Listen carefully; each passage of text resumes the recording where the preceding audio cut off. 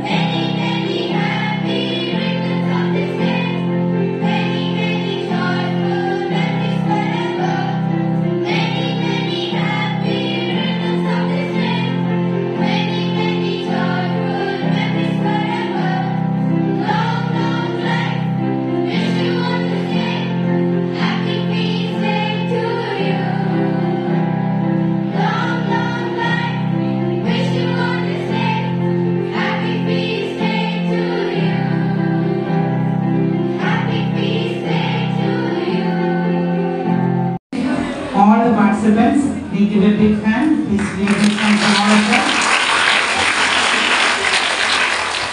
we thank the teachers of Teresa House, uh, Pooja teacher being the leader and the teachers have taken sufficient effort to train the students. So for all the teachers who train the students, give them a hand.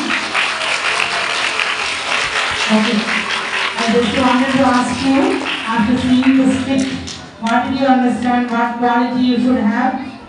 When you kindness, then respect, compassion, service, okay? So all these values, see that you are practicing in your lives as we celebrate this feast of Saint Anne. May Saint Anne our patroness bless all of us, all your families and your studies as you are going to write your exams. We pray through the intercession, through the prayers of Saint Anne that you do well. Thank you very much, dear teachers and students. Once again, wish you all a very happy of Saint Thank you for praying for us. Please do continue to pray for our society and especially the sisters of Saint Teresa Convent, all of us, all four of us. Thank you very much.